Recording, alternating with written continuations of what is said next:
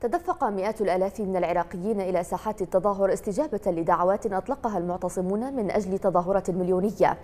وعبر المتظاهرون عن رفضهم ورقة الإصلاح التي تبنتها الأحزاب الرئيسية في البلاد قبل ثلاثة أيام معتبرين أنها محاولة من الأحزاب للالتفاف على مطالب المتظاهرين وتسويفها. وشهدت العاصمة بغداد حضورا كثيفا في عدد من الساحات أبرزها التحرير التي لم تخلو من المعتصمين منذ انطلاق التظاهرات في الأول من أكتوبر الماضي.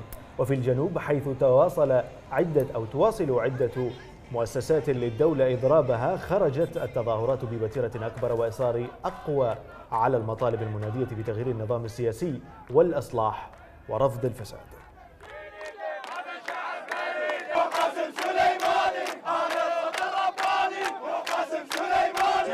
مرجعيه